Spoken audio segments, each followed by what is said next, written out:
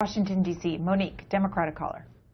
Hello, hi. I'm getting really irritated by the um, comments that the representative from Texas keep making about President Obama. And you constantly keep saying, fact, he's not helping on immigration, fact this, fact that.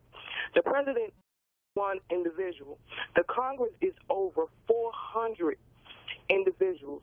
It is Congress' job to do their job. You guys are getting paid to basically do nothing.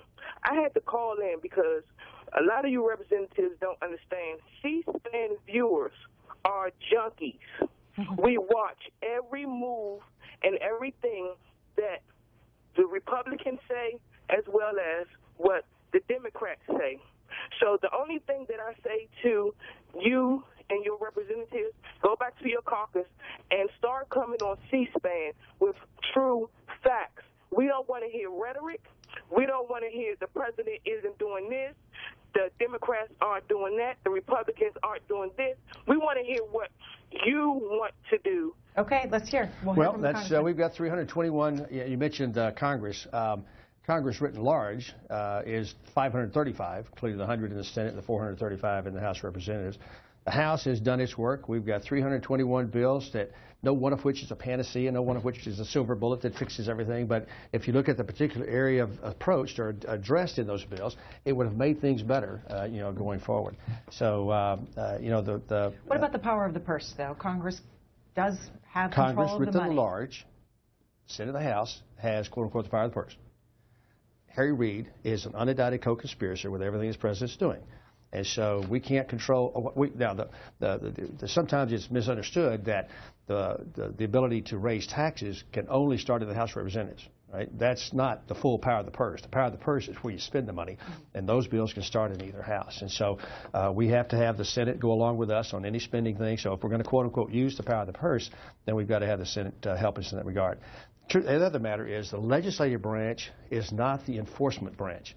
The executive branch enforces the law. They actually laws that we pass and enforces those. And this president and his team are either enforcing them way beyond what the laws themselves say, or they're not enforcing them at all. And so uh, it's a combination. But it really is the executive branch role under our three three branches of government uh, to enforce the laws that Congress passes. And this president's done a in my personal view, a pretty poor job of, of doing that on both sides. He's overreached in a lot of areas, and he's underperformed uh, in others, including the border. One last phone call here sure. for you. It comes from Sherry in Hampton, North Carolina, independent caller.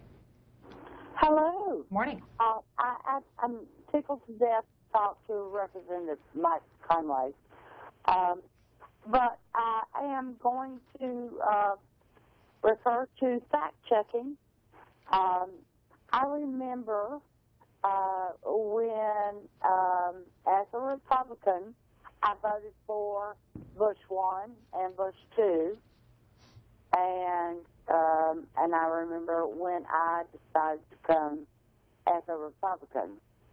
Uh, we've got to take facts as facts, and if you do some fact checking, when uh, Bush one and Bush two came in um, I think Clinton had left us with a major, major surplus.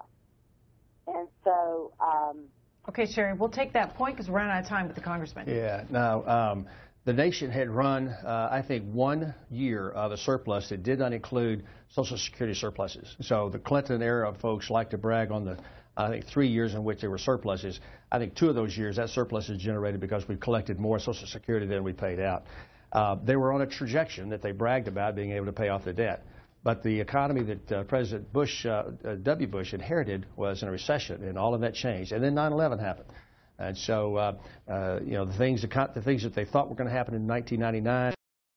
Uh, had some dramatic impact on the 9/11 effect and all the other things that went on that, uh, that, that, caused those surpluses to uh, to not materialize the way that the CBO and others had projected them to to materialize.